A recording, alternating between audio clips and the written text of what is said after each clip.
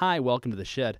This is the third episode in our finger drumming series, and this one is all about bass drum independence. So I'm just going to start right away. I'm using the IK Multimedia iRig Pads interface. This is my bass and metronome loop.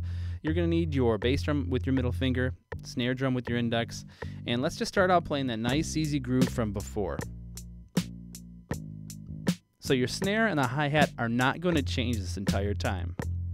What's going to shift is the bass drum. So follow along. You hear that? One, two, and three. Play that.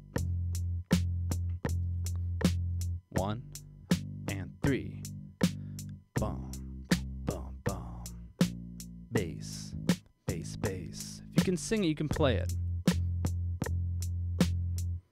All right, back to one and three with the bass. Now I'm going to add a bass drum on the end of beat four too. So I have one, two, three, four, and one, two, three, four, and one. Boom, boom, boom, boom, boom, boom. Just play along. Boom, boom. Back to one and three. Okay, now I'm to play the beat from uh, Run DMC. Walk this way. Here you go.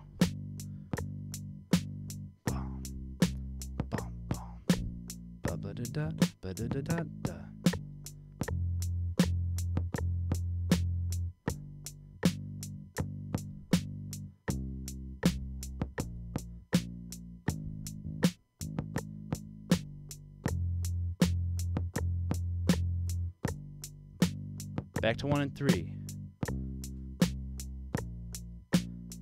I want you to try your own variation. You can pick whatever beat you want to add to the bass drum. You could subtract a beat. It's all up to you. I'm just going to play a hi hat and snare.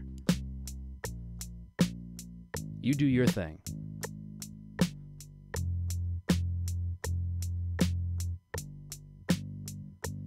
Keep it up.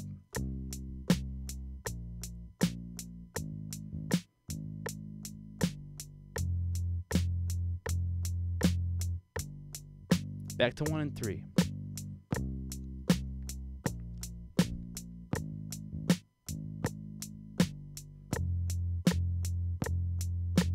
One, two, three, four, and we're out.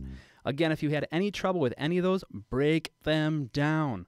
Like, let's take the one where we're on the and of beat three and three. So we have one, we have one, and two, and three, and four, and. This doesn't have to be in time. You could say one, and. Nobody's judging. Two, and. Now I have three, and the and of three, I'm going to play the bass and the hi hat again. Four, and. One, and. Two, and. Three, and. Four, and. One, two, and. Three, and. Four, and. Break it down so you can play it without time. Then play it super, super slowly and gradually speed it up. It's better to play things slow and correct than fast and wrong. All right, look forward to seeing you soon and uh, happy groove.